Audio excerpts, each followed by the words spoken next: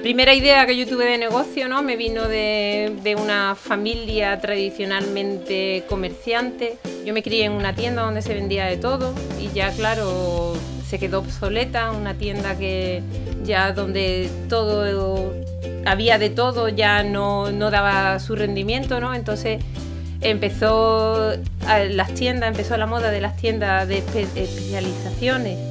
Entonces mm, la puricultura era un sector que estaba muy era muy nuevo, muy en vigor y decidí montar una tienda de puricultura, especialistas en puricultura.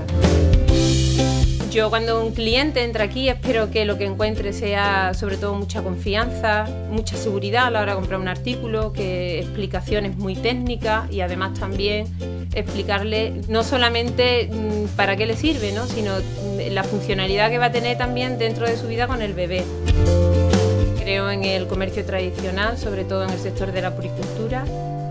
Es un comercio muy de, de tú a tú, de cliente a cliente o sea, de, mm, comerciante a cliente y muy, muy personal, muy bonito y ahora mismo creo en el comercio tradicional.